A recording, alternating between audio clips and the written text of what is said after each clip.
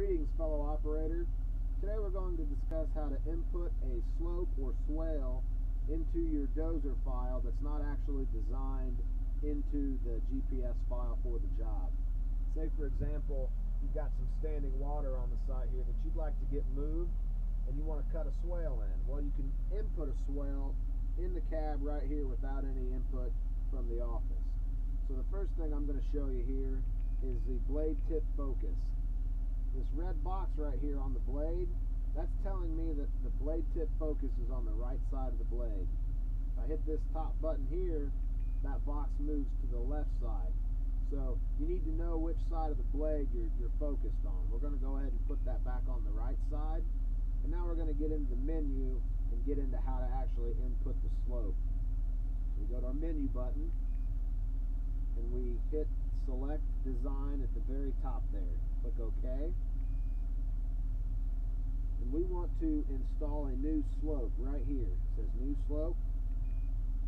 It's going to ask us to select the desired coordinate system. It's going to say use last.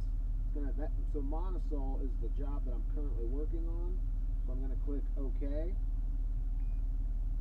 Now, as you'll recall, we put our blade tip focus on the right side. So this is going to be where we want our swale to start. So I'm going to click here and you'll notice that it inputs all the information for that location. We're going to go to point two. I'm going to go ahead and raise my blade up, turn my parking brake off. We're going to track forward a little bit.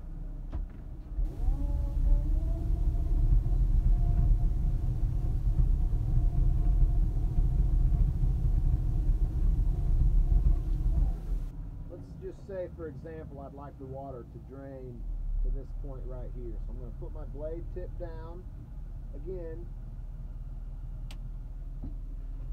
I'm going to come back down to my screen and pick here. And again, it inputs all the coordinate information. I'm going to click. I'm going to select the cross slope. Now it's, it's asking me for the banks of my swale. Do I want a swale or do I want a crown? For this, for the purposes of what we're doing today, we're going to select a swale. So I want the left side of the bank to be a 1%. And then I'm going to select the next button right here. And the right side, I also want to be a 1%.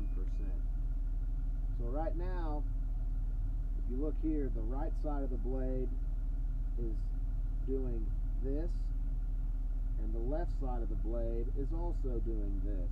Well, that's not going to work. So we need to select this button here, and it will change the cross slope. So now the right side of our blade, or the right side of our swale, is doing this, as the left side does this. So now we've created a swale. We'll click OK. And it tells you that the design name is slope 17. We'll click OK. That'll take us back out to the menu. We'll select that one. And then we'll click our back button and it will have our line. So that is the center of our swale that we've created. And our, our slope on this side is going to be going up and this side on the on the right is going to be going this way. So we've created a swale.